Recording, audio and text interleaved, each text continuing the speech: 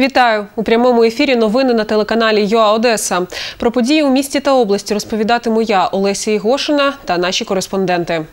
Овець, які перебувають у Чорноморському порту, утилізують, якщо доведуть, що вони ступали на турецьку землю. Таке рішення сьогодні прийняли на засіданні комісії у Чорноморській міській раді. Представник ветеринарної служби Олег Яковлів заявив, що тварин необхідно знищити, бо під час перебування у Туреччині вони могли заразитися інфекційними захворюваннями. А довідок, що вони здорові, немає. Комісія надала 30 днів, аби отримати довідку про те, чи сходили вівці на турецьку землю. На цей час у Чорноморському порту утворять карантинну зону із огорожею. Согласно решению уже прошедшей комиссии, понятно, что мы сейчас будем э, выделять отдельную вообще площадку для того, чтобы содержать этих животных в нормальных, человеческих, ну, э, в нормальных условиях. Мы э, с- на терминале соберем ну, совместную рабочую комиссию э, с контролирующими органами. Да, груз пустили. Но, учитывая, что нет никаких карантинных площадок, никаких возможностей для проведения каких-либо исследований, а также учитывая неблагополучие территории страны, данный груз подлежит утилизации. На сегодняшний день, согласно нормативным документам, получили мы доручение провести идентификацию этого груза для проведения в дальнейшем отправки его на Тульчинский утилизавод и там утилизация. Но комиссия сегодня приняла другое решение. И как оно будет продвигаться дальше, я не могу ответить на этот вопрос. Я буду пытаться спасти. Э, Я в этом заинтересована. П- Заявление про утилизацию я- писала п- из безвыходного положения, так как э, руководство никак не двигалось. Я знаю, что эти овцы не были растаможены на территории Турции, никаких контактов они э, с другими животными не имели, какой-либо инфекции они там или болезни подхватить они не могли. Нагадаємо, на території поромного терміналу Чорноморського морського порту знаходяться близько трьох сотень овець. Тварини готувалися на продаж до Туреччини, але на кордоні живий товар не пропустили. Причина тому відмова покупця платити за тварин. З 12 жовтня вівці перебувають на території України. Місцеві ветеринари заборонили їх вивозити за межі порту.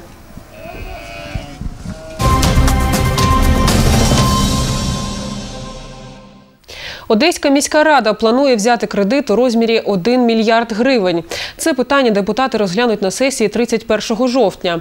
Відповідний проект рішення вказано у попередньому порядку денному. За інформацією, гроші будуть витрачені на заміну ліфтів, тепломереж, а також на реконструкцію культурних пам'яток. Запозичити кошти міськрада планує в Укргазбанку на 5 років під 22,5% річних. Наші кореспонденти дізналися думку експерта з приводу планів міськради взяти мільярдний кредит. Кредиты можно и нужно брать. Многие страны за счет кредитов модернизировали свою экономику. Построить новый морской терминал, построить дворец э, выставок, да, чтобы со всей Европы приезжали сюда и про- проводили здесь. Вот это инвестиция. Это, вот на это. И тогда вот эта инвестиция будет отдача.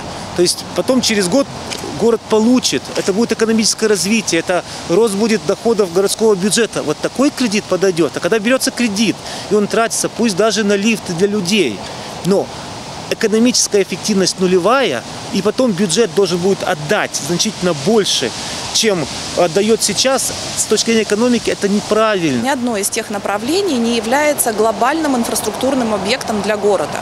То есть каждое из этих направлений в той или иной мере важны для жителей, но не в той э, степени, чтобы Одесский городской совет брал э, кредит под такие драконовские ставки, потому что переплата по кредиту будет нам стоить дороже самого кредита. Одесский городской совет уже два года подряд, э, еще раз повторяю, нерационально расходует э, денежные средства.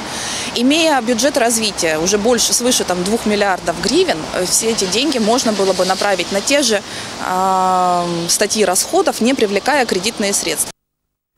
Як повідомила нам голова бюджетної комісії міськради Оксана Гончарук, сьогодні відбувається засідання комісії, на якому проект рішення обговорюватимуть детальніше. Наша знімальна група на ньому присутня. Сюжет на цю тему дивіться у наступних випусках новин.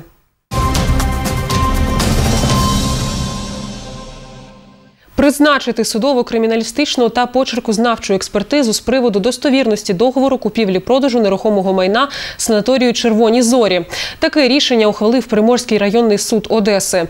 На експертизі наполягала представник Укрпрофоздоровниці, які підпорядковуються санаторії. Укрпрофоздоровниця вважає, що договір купівлі-продажу та акту прийому передачі майна було сфабриковано забудовником компанією Будлайф у 2001 році. Призначену судом експертизу проводитиме Київський науково-дослідний інститут судових експертиз.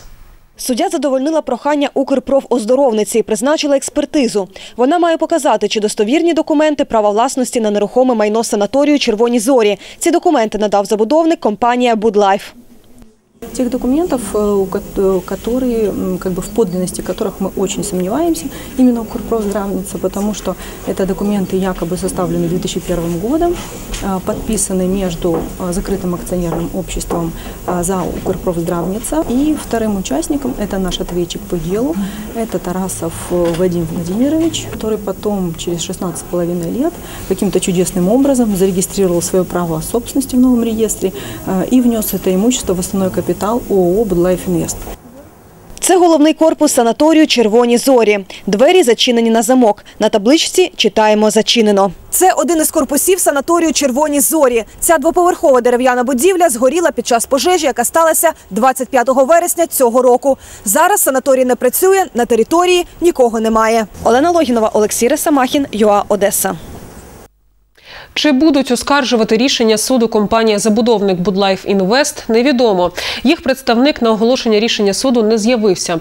Також суд задовольнив прохання Укрпрофоздоровниці і наклав арешт на майно та заборонив його відчуження на час розгляду справи. Наші кореспонденти намагаються отримати коментар забудовника компанії Будлайф Інвест. Нагадаємо, 19 вересня міськрада дала дозвіл на розробку проєктів відведення ділянок, на яких знаходиться санаторій Червоні зорі. Напередодні цього представники Укрпрофоздоровниці звернулися до мера Одеси та депутатів із проханням не передавати в оренду компанії Будлайф Інвест землю санаторію Червоні зорі, який знаходиться на площі 4 гектари на 9-й станції Великого фонтану. За тиждень після звернення захисників санаторію до можновладців у Червоних зорях сталася пожежа, відео якої ви зараз бачите на своїх екранах. Полум'я охопило санаторій не вперше. Минулого разу масштабна пожежа тут сталася у листопаді минулого року. На месте очень много пожарных машин. Вот это только здесь видно три. Еще с той стороны очень много. Сьогодні, 25 жовтня, близько 5.30 ранку на трасі Одеса-Київ в Іванівському районі сталося зіткнення двох вантажівок. Про це повідомила голова прес-служби патрульної поліції в Одеській області Алла Марченко. Фото з місця події ви зараз бачите на своїх екранах. столкновение двух грузовых автомобилей, в результате чего э, травмы получил один из водителей и пассажир э, одного из автомобилей погиб на месте происшествия. На месте работал следователь, причина будет установлена в ходе следственных мероприятий. Одесит Сергій Дамбовський закінчив роботу над розписом трансформаторних будок у своєму дворі. Над створенням арт-об'єкту художник працював близько двох місяців. На цих кадрах ви бачите завершені сюжети із персонажами казок і мультфільмів. Творіння можна побачити за адресою вулиця Бреуса, 26, дріб 2. Нагадаємо, наприкінці серпня ми спілкувалися із художником на початковому етапі створення проєкту, коли була розмальована перша стіна.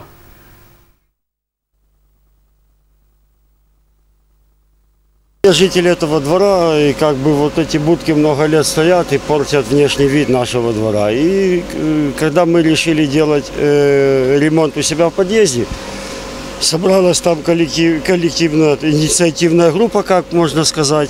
Сделали в подъезде сначала у себя ремонт, А потом э, плавно перешли во двор.